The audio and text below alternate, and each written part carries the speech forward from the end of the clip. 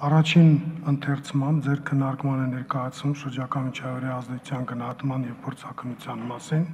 եւ պետական турքի մասին հօրենքում լրացում կատարելու մասին օրենքների նախագծերի փաթեթը։ Գործող շրջակա միջավայրի վրա ազդեցության եւ փորձակնության մասին օրենքը ընդունվել է 95 թվականին, վաղեմության հետևանքով շատ դրույթներ ներկա իրավարաբերություններին համապատասխանելու անհրաժեշտություն է առաջացել։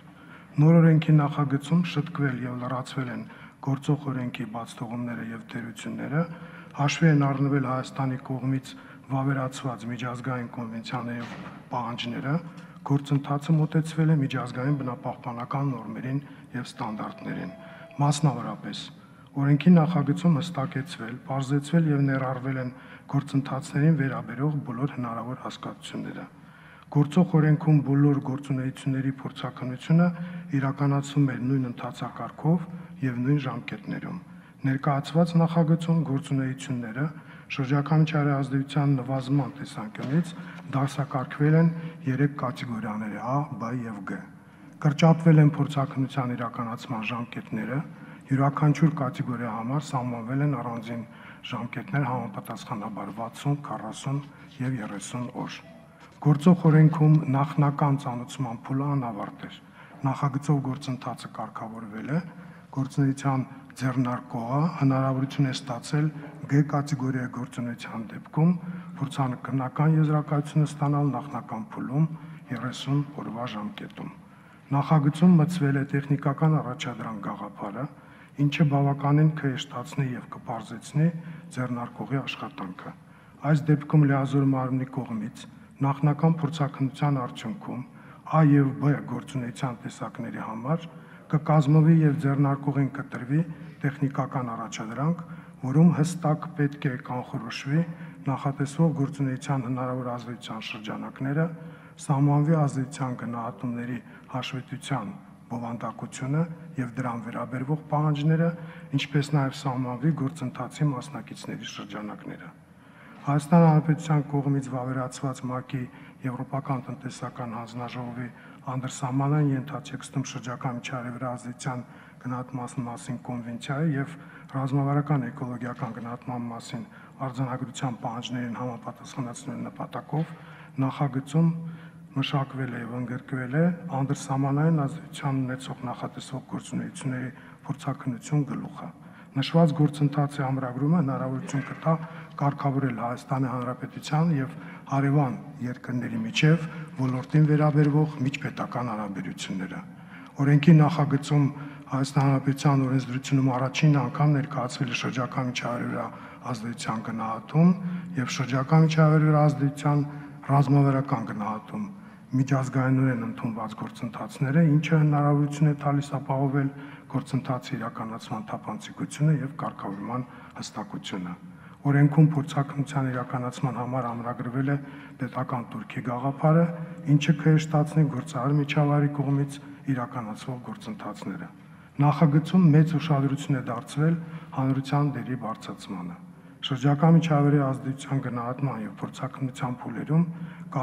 կարևորվել է թե հանրության ցանուցումը եւ թե լսումների իրականացումը ինչը հնարավորություն կստեղծի հանրությանը սկզբնական փուլից մասնակցել նախատեսվող գործունեության եւ հիմնադրութային փաստաթղթերի վերաբերալ իրականացնող գործընթացներին։ Զգալիորեն ավելանում է նաև հանրության դերը որոշումների ընդունման գործում։ Նախագծի մշակման աշխատանքներին ներգրավել են մի շարք հասարակական կազմակերպություններ, որոնց կարծիքները եւ տեսակետները հաշվի են առնել եւ մենք շնորհակալ ենք, որ իրենք հենց սկզբից նախագծի մշակման ընթացքում մասնակցել են մեր հետ այս փաստաթղթի ներկայացմանը։ Պետական турքի մասին հօրինքի լրացում կատարելու մասին հօրինքի նախագծում սահմանվել են շրջակա միջավայրի ազդեցության փորձակնության գործընթացի իրականացման պետական турքի չափերը նախագծում հիմնադրույթային փաստաթղթի համար սահմանվել է բազային թուրք 500 հապատիկի չափով, նախատեսվող գործունեությունների ԱԲ կատեգորիաների համար համապատասխանաբար 500 հապատիկ, 400 հապատիկ եւ 15 հապատիկ չափերը։ Նախագծերի փաթեթը հավանության արժանացել գլխադասային անձնաժողովի կողմից քննարկվել եւ հաշվի են առնվել ներկայացված դիտողությունները եւ առաջարկությունները։ Խնդրում եմ առաջին ընթերցումը ընդունել շրջականության ազդեցության գնահատման փորձակնության մասին եւ պետական турքի մասին հայրենքում լրացում կատարելու մասին հայրենքների նախագծերի փաթեթը շնորհակալություն Հարգելի գործընկերներ, հիմնական զեկուցող բնապահպանության նախարարի առաջին տեղակալ Սիմոն Պապյանին հարցերով դիմելու համար հերթագրում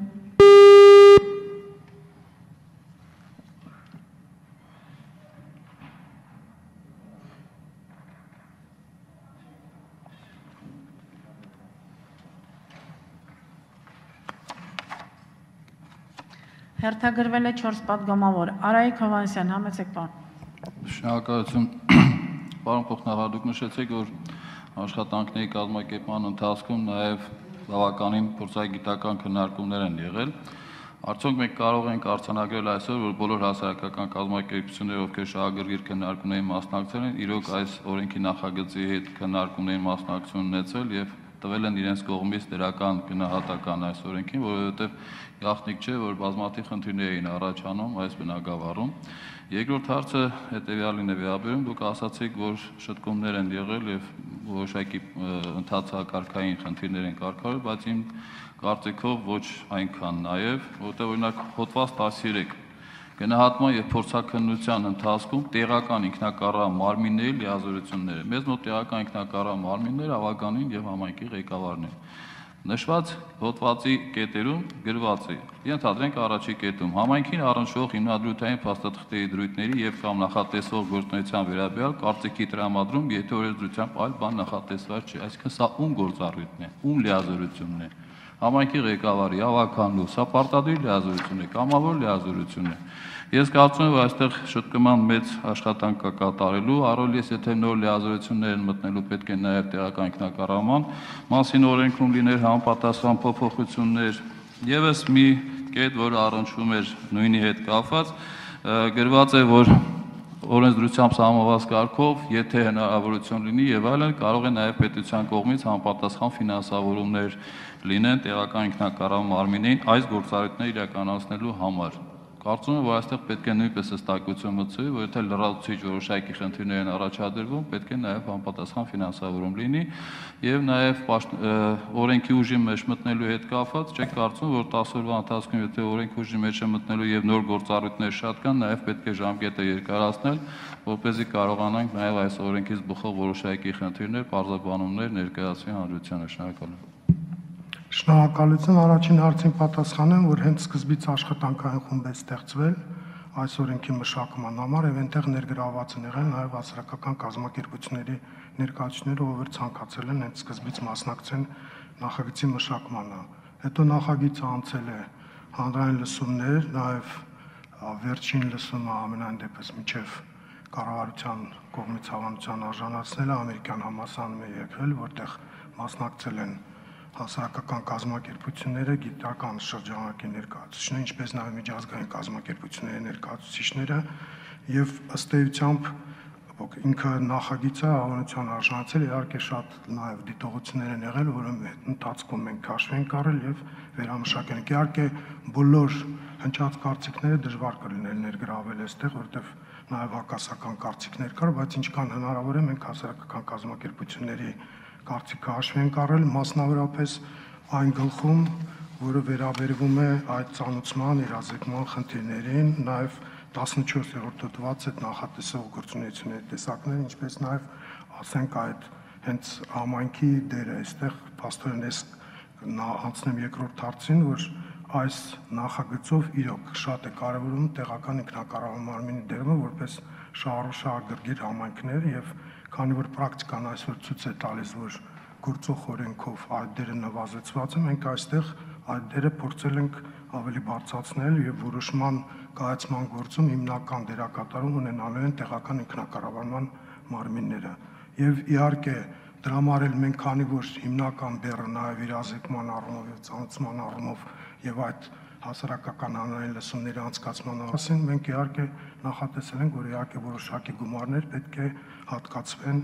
ասենք, այդ հանրային լսումները կազմակերպելու համար, որտեղ եւ տեսագրություններ լինելու եւ համապատասխան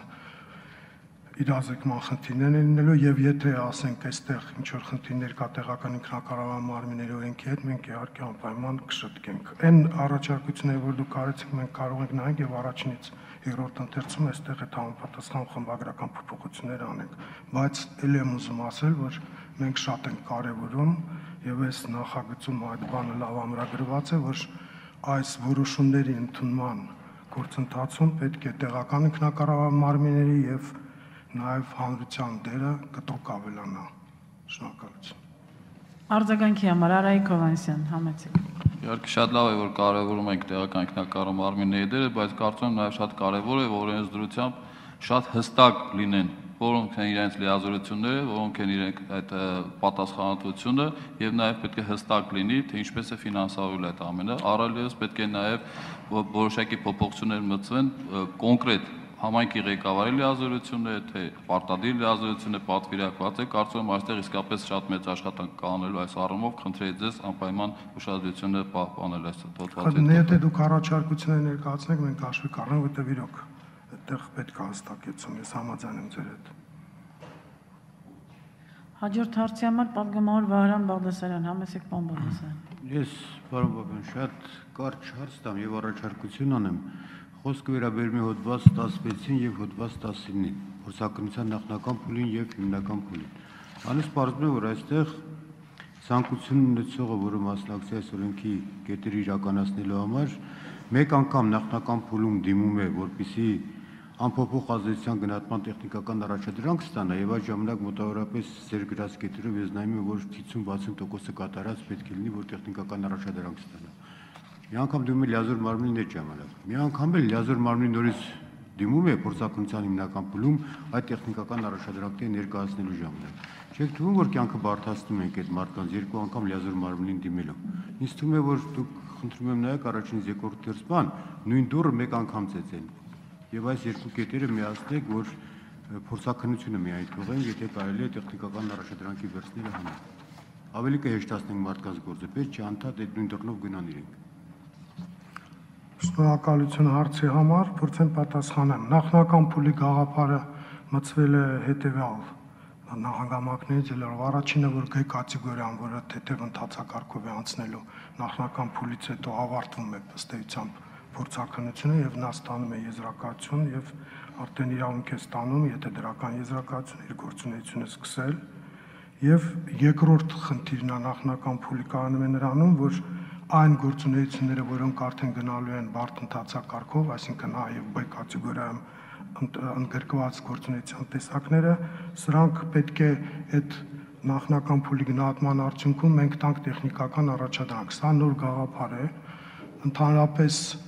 շատ գործող օրենքով այնպես էր այս հարցերը կարգավորված էր եւ շատ ճաշակի էր թողում եւ սուբյեկտիվիզմ էր թողում, որտեվ ասենք ինչ որ մի հաշվետվություն իրանք գնահատման ներկայացնում են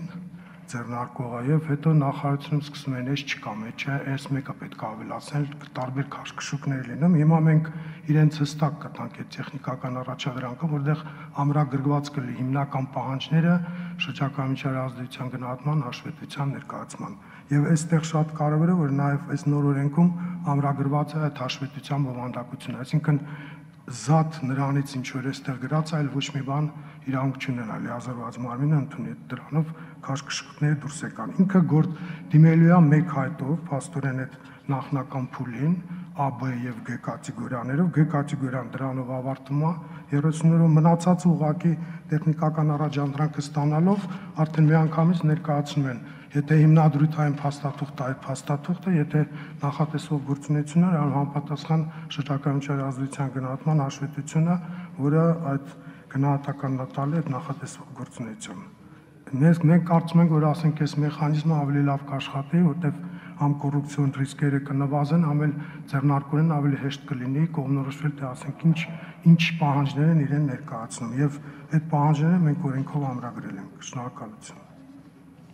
Արձագանքի համար Վահրամ Բաղդասարյան համար։ Պարոն Պապյան, եթե միանգամից մեկ հայտով դյում գրեն եւ տեխնիկական այդ առաջադրանք առաջ նախ հիմնանախնական փուլում ստանան, դա էլ խնդիր է, բայց դուք պետք է որոշեք, տակ թե չտակ։ Այո։ Հենց խնդիրը դրա մեջ է, որ արդյոք մեկ անգամ որոշում եք տակ թե չտակ, մեկ անգամ էլ որոշում եք հաստատեք թե չհաստատեք։ Ես եթե մտածում եմ, որ եթե հնարավոր է մի փուլ դարձնենք դա, մարդկանց ավելորդ է, դա երկար process է գնում։ Ես հասկանում եմ, դուք ուզում եք ավելի հեշտացնեք այն աշխատանքը, որ երկու փուլով անցկացնեք եւ այլն, բայց դա քաշքշուկ է, պարզապես չեմ ուզում այլ անվանում տամ, որովհետեւ իրենք կարող են մեկնաբանել, թե բյուրոկրատական քաշքշուկ է։ Սա ուղղակի նախնական փուլը չէ ավարտ է, ներողություն։ ավարտում եմ։ Եթե հնարավոր է նորից եմ կրկնում, առաջինից երկրորդ տեսման ժամանակ ձևակերպենք առաջարկությունը, մեկ անգամ եւս քննարկենք, այ մասին։ ուղղակի այդ նախնական փուլով Գ կատեգորիան ավարտվում է։ Եթե անենք բան Բադասյան, դուրս կգա, որ այդ Գ կատեգորիայի հետ կապված ամբողջ խնդիրները ուտում կկախվի, բայց քննարկենք, ես դեմ չեմ։ Հաջորդ հարցի համար պատգամավոր Վարդան Այվազյան, համեցեք պարոն Այվազյան։ Սեմյոն Ռաֆայելիչ, մենք իրար հետ աղաքին աշխատել ենք։ Ես ձեր մասնագիտական ունակություններն շատ բարձր եմ գնահատում։ Մի քանի հարցեր եմ ես ուզում տալ, երևի փորձեմ ելույթ էլ ունենալ։ Դու գիտեք, այս օրենքը երբ եկավ մեր մոտ, ինչի երկար քննարկվեց։ Հարց համար առաջին, որ երկրի փորձն եք կիրառել այս օրենքը ընդունելու ժամանակ։ Երկրորդ ավելացել է արդյոք նախկին օրենքի եւ այս օրենքի հետ կապված փորձակնության ենթակա տնտեսվարման տարբեր ոլորտների թվականակը կամ չափականակները։ Դե պետք է նես ելույթի համանաս։ Երրորդը անդրսահմանային քանի փորձակնություն է իրականացվել մեր պատմության ընթացքում մեր կամ հարևան երկրներից որևէ միջազգային պայմանագիր ունենք, որ անդրսահմանային ամբողջ փորձակնական խնդիրը դուք մենք ներ ենք առել մեր օրենսդրության մեջ։ Դա մյուսը։ Տեխնիկական առաջադրանքը վճարովի է թե անվճար։ Կենտրոնի կողմից օրենքը տեխնիկական առաջադրանք պետք է տա, ես պետք է դիմեմ, ես պետք է վերցնեմ դրա հետ կապված խնդիրը։ Շատ հարցերը շատ-շատ են, էլի, որ դրա հետ կապված է։ Հիմա ասում ենք նախատողող գործունեության ժամանակահատվածում փորձագիտական եզրակացությունը փաստորեն համենայն դեպս այս շմակի ազդեցության գնահատումը տալիս է լիազոր մարմինը, բայց գործողություններ կան, գործողությունության տեսակներ կան, որ վերապահված է տարբեր լիազոր մարմին։ Օրինակ ասենք ճառակայթային անվտանգության հետ կապված, այսքան գիտեմ լիազորությունը տեղափոխվել է, աղմուկի հետ կապված լիազորությունը տեղափոխվել է։ Այսինքն այս պարագայում ոնց ենք մենք օրենսդրության հետ աշխատում, որտեղ հստակ գրում եք բնապահպանական համապատասխան լիազոր մարմինը։ Մյուս հարցը օրինակ դուք ինձ ինչով կհիմնավորեք որ օրինակ ասենք ընդդեք շահագործման ոլորտում երկրաբանական ուսումնասիրություն ներեկառե թե նախնական թե հիմնական փորձակնության գործընթացի մեջ ու նմանատիպ շատ-շատ ոլորտներ դրա համար եմ ասում էլ ինձ մենք ձեր կարծիքով հիմա այս պարագայում այս բոլոր խնդիրները որը մենք նշել ենք թեթևացնում ենք տնտեսվարման ամենայն դեպս այս գործառույթները թե բարդացնում ենք Շնորհակալություն։ Առաջի արդեն բարձրապատասխանեմ, որ երկրի փորձն է հաշվի առնած։ Մենք փաստորեն էս որ մշակել ենք այս նախագիծը, ըստ էությամբ միջազգային կոնվենցիաներով վերցած պարտավորություններն են կամրագրել եւ ես ուղղակի մեկ օրինակ կարող եմ վերեմ, երբ որ մենք նախագիծը ուղարկեցինք էկոնոմիկայի նախարարություն, իրենք համեմատեցին հենց այդ տեսանկյունից թե որ երկրի փորձն ենք եւ ասացին, որ ըստ էության մենք մեկը մեկին վերցրել ենք Լատվիայի օրենքի նախագիծը, բայց մեր մոտեցումը այն է, որ հաստորեն մեզ մշակմանը մասնակցել է նաեւ օգնել է համաշխարհային բանկի փորձագիտական խումբը, ինչպես նաեւ համապատասխան Օրխուսի եւ Էսպո կոնվենցիայի քարտուղարության միջազգային փորձագետները, այնպես որ մենք փորձել ենք հաշվի առնենք, ասենք եւ Եվրոմիության երկրների փորձը այդպես է ստացվել, որ Լատվիայի հետ շատ մոտիկ ա եղել այդ մասը, դրա համար այդ այդ առումով ինքը համապատասխանում է միջազգային ստանդարտներին եւ մենք ունենք համապատասխան եզրակացություններ եւ կոնվենցիայի քարտուղարությանը եւ միջազգային կազմակերպությունների։ Ինչ վերաբերում է տեսակները, տեսակները աստորեն այստեղ մենք կարող ենք ասել, որ կրճատվել են որոշ չափով, իհարկե կան տեսակներ, որ ավելացել են, ես բանով ասեմ, որ ասենք երկրաբանությունը, որ դուք ասացիք, մի անգամից երկրաբանության անցնեմ, իրոք ավելացել է, որտեվ երկրաբանությունը այս դեպքում երկրաբանական ուսումնասիրությունը գործող օրենքով փորձակնության ենթակա չէ, այս օրենքով, քանի որ ընդերքի օրենսգրքում էլ ուղղակի հիշեցնեմ, որ այնտեղ կա այդ բանը ամրագրված, որ երկրաբանական ուսումնասիրման հիմա նախագծերը ուղարկում են, հիմա էլ արդեն նախնական գնահատման գործընթացն ա գնում եւ մենք ուղղակի այս օրենքում ամրագրել ենք ընդերքի օրենսգրքում ամրագրված ֆունկցիան եւ դրել ենք բարձեցված տարբերակով G կատեգորիա, որ 30 օրում այդ համապատասխան փորձաքննական եզրակացությունը տալ։ Ինչ վերաբերում է անդրսահմանային մենք փորձ ունենք թե չէ, ունենք մեկ փորձ կապված մեր նորատմակայանի շինարարության հետ, մենք աստորեն ցանուցման գործընթաց ենք սկսել եւ դուք արդեն գիտեք, որ մեր տարածաշրջանում կոնվենցիայի կողմ երկիրը միայն Ադրբեջանն է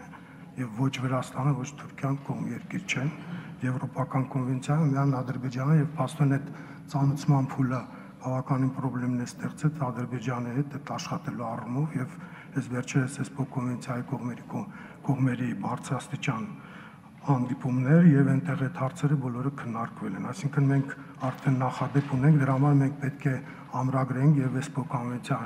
պահանջում էր դա, որ մենք այդ առանձին գլխով մենք այնտեղ մի հոդված ունենք միայն գործող օրենքում, հիմա գլխով ամրագրեցինք։ Մենք այդ հարցով, այո, մենք իրանց հենց այդ հայտը ներկայացրեց Հայաստանը, այդ որ հարցը որ իրանք այդ ամբողջը անցկացրել են առանց անդրսահմանային ազդեցության գնահատման եւ առանց Հայաստանի իրազեկելու եւ իրենց վերաբերալ կոմիտեն նույնպես որոշում կայացրեց։ Ինչ վերաբերում է տեխնիկական առաջադրանքի, տեխնիկական առաջադրանքը բնապահպանության նախարարությունն կազմելու ոչ մի գումար դրա համար չի վերցնում, ընդհանրապես հիմա գործընթացը, եթե գործող օրենքով իրենք պայմանագիր են կնքում ՊՕԱԿ-ի հետ համապատասխան որ այդ փորձակնությունը անեն, գումարներ տան։ Հիմա մցվել է պետական турքի գաղափարը, իրենք բյուջե համապատասխան գումար կմուծեն եւ մեր փոխական ընդհանրապես իրենց հետ գործ չունեն, հա, այդ առումով ֆինանսական, այսինքն այդ բյուջեից էլ համապատասխան պահպանման ծախսերը այդ ամբողջը կարվի։ Եվ ինչ վերաբերում է մի քանի լազերված մարմինների, այդ խնդիրը իրոք կա իրոք կա եւ մենք այստեղ ամրագրել ենք համապատասխան հոդվածում, որ եզրակացությունը բնապահպանության նախարարությունը, այսինքն լազորված մարմինից բնակավարը միայն կկայացնեն դեպքում, երբ որ համապատասխան շահագրգիռ մարմինների դրական եզրակացությունը լինի, որպես կանոն դրանք առողջապահության նախարարությունն է, արտակարգ իրավիճակների նախարարությունն է, քաղաքաշինության նախարարությունն է եւ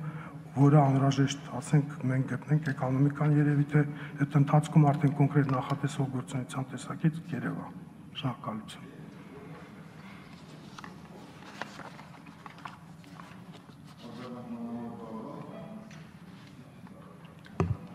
Արձագանքի համար պարոն Այվազյան։ Պարոն Պապյան, ճիշտ է, մասն պատասխանեցիք այդ 500.000, 400.000 եւ 15000-ի հետ կապված նախնական բանի հետ կապված խնդիրները։ Նախ առաջին անդրսահմանային գործողությունները, որ մենք որպես մասնակից ենք նույն որևէ մի երկիր չի մասնակցում մենք Ադրբեջանի հետ կապված թե նավթամուղերի, թե ամենայն դեպս անտառների, թե ջրերի օգտագործման համար հիմա այդ միակողմանի պարտավորությունները վերցնել օրենսդրական բացը այստեղ թողել, այդ թողեք միջազգային, այսինքն ենթադրենք այդ պայմանագրերի, կոնվենցիաների շրջանակում, ինչ եք օրենսդրական մակարդակով դա բերում։ Սա ինձ համար անհասկանալի է։ Գործունեության տեսակների լրում ձեզ ասեմ, որ ավելացել է մոտ 15-ով։ Նախնական փուլն ինքն իրանից պարունակում է շատ ծանր գործընթաց Սա էլ իշքան թե չեմ սխալում հասարակական կազմակերպությունների կողմից քննարկված եւ ներկայացված նախնական տարբերակի օրենքն է։ Ես որոշակի անհանգստություններ ունեմ այս ընդհանցակարգերի բարձրացման եւ մեխանիզմների լուծման հետ։ Կփորձեմ ելույթումս էլ ասել լավ այսքանը։ Քննարկենք արդեն սա ինչ առաջինից երկրորդ ընթերցում։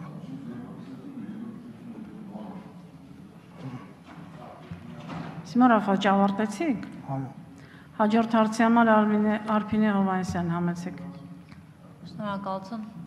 պարոն փոխնախարար։ Առաջին հարցս վերաբերում է 4-րդ հոդվածում սահմանված ձևակերպումներին հանրություն եւ շահագրգիռ հանրություն։ Տեսեք, հանրություն եզրույթի մեջ օգտագործել եք 1 կամ 1-ից ավելի ֆիզիկական կամ իրավաբանական անձ, ստացվում է 1 անձը դա հանրություն կարող է դիտվել, Խնդրում եմ ինձ ասել, այդ որ դեպքերում այդ այդպիսի դեպք կա եւ արդյոք այստեղ հանրության իրազեկման առումով Օրհուսյան կոնվենցիայի պահանջները կարող են պահպանված համարվել եւ շահագրգիռ հանրության դեպքում ըստ էության հոգնակի թվով է օգտագործված, այսինքն մեկ ֆիզիկական անձը չի դիտվում հանրություն։ Սա առաջին հարցը։ Երկրորդ հարցադրման հետ կապված ես ուղղակի ուզում եմ խնդրել, եթե հնարավոր է քննարկեք տերմինաբանական լեզվական շարահյուսական խնդիրներ կան, տեսեք, փորձակնության նախնական փուլում քննարկվում է ներկայացված նախնական գնահատման հայտի լրակազմությունը։ Անկեղծ ասած եզրույթի հետ այդքան էլ համամիտ չեմ, թերևս նաև այն པարզ պատճառով, որտեղ որովհետև այստեղ կարող ենք դիտարկել նաև վարչարության հիմունքների եւ վարչական վարույթի մասին օրենքի տիրույթում, իսկ այդ տիրույթում հարցի քննարկման դեպքում մենք ունենք այդ օրենքի 32-րդ հոդված, որտեղ խոսում է ներկայացված հայտի կամ փաստաթղթերի ամբողջականության մասին, գուցե այս տեսանկյունից դիտարկենք հարցը եւ վերջում տեսեք որպես փորձագետ էլի կարող է հանդիսանալ այն իրավաբանական անձը կամ ֆիզիկական անձ հանդիսացող փորձագետը պետք է ունենա համապատասխան բարձրագույն մասնագիտական կրթություն։ Խնդրում եմ կասեք ինչի նկատի ունեք համապատասխան կրթությունը, որ փորձագետ, այստեղ որ, որ կրթությունն եք համարում համապատասխան բարձրագույն կրթություն, շնորհակալություն։ Առաջի երկու հարցը ես ինքս իրավաբան չեմ, իրենք են ձևակերպել, մենք մեծ հաճույքով ասենք իրար հետ, եթե դուք առաջարկություն եք տակ կամ ես իրավաբաններ հետ կքննարկեմ, եթե անհրաժեշտության պայման կփոխենք։ Այս փորձագետի մասով համապատասխան բարձրագույն կրթությունը նայած նախատեսվող գործունեության տեսակը, որը կլինի, համապատասխանել ընտրում, եթե ասենք ընդերք օգտագործման բնակավարը, ուրեմն այդ բնակավարի համապատասխան բարձրագույն կրթությունը, եթե ասենք էներգետիկայի բնակավարի նախատեսվող գործունեությունը համապատասխան այդ փորձագետի հետ է պայմանագիր կնքվելու։ Իսկ այն չի խմբագրականը, որ ասեցիք, կշտկենք։ Անդրադարձի համար Արփինե Հովանեսյան համեցեք։ Պարոն փոխնախարար, ես շնորհակալ եմ, որ ասացիք շտկեք։ Ուղղակի մենք այստեղ իրավական խնդիր չի հանրություն եզրույթի հետ կապված։ Դուք ինքներդ համարում եք, որ մեկ անձը կարող է դիտվել հանրություն, խնդիրը սրան է։ Մեր հա- սա ձևակերպումը տվեցին հասարակական կազմակերպությունները եւ ասենք եւ հետո իրավաբանները նայեցին չարարկեցին։ Դրա համար ես չեմ կարող այդ հարցում մասնագետ չեմ, որ ես ասեմ, խնդրեմ Ես արա- քննարկենք, որտեվ ես մասնագետ չեմ որ ասեմ, որ նա ճիշտ է։